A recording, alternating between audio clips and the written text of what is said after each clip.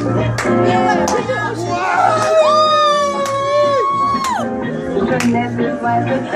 Wow.